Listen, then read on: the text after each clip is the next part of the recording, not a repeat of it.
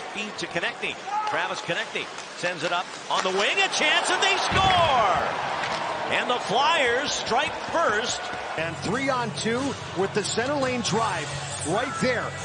And Meloche, if you're going to let the guy drive through there, you've got to get a piece of him.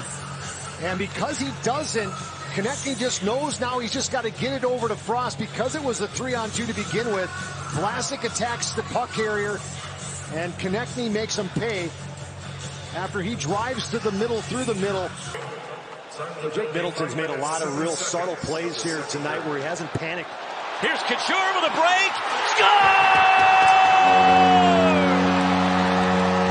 Not going to like a shorthanded goal. Couture makes him pay right here.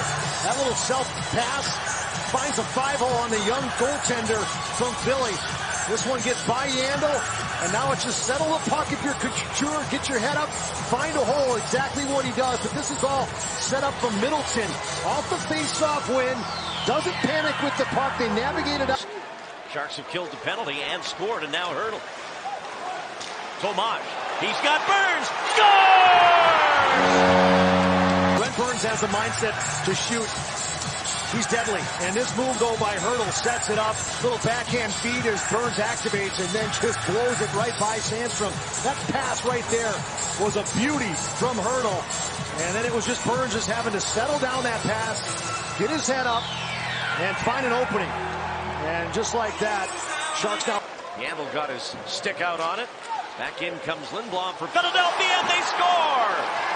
Joel with a quick wrist shot. Pay on a turnover in the neutral zone. Puck management, one of my keys here tonight. And this is just a, a terrific wrist shot. Beats Reimer to the far side. And boy, I wonder if this could be offside. They're going to probably obviously take a look at it now. But they did everything right the Sharks did. And Timo Meier helps his defenseman, takes the puck out. The Sharks almost lost the puck. Now they've got a two-on-one. Erik Karlsson with it. Waits. Karlsson. Hertl. And he scores!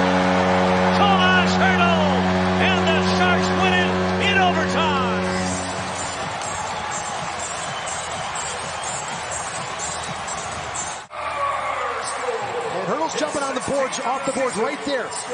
And he creates enough havoc, but it was the Karlsson activating there to create the two-on-one. The patience of Karlsson to thread it into Hertl.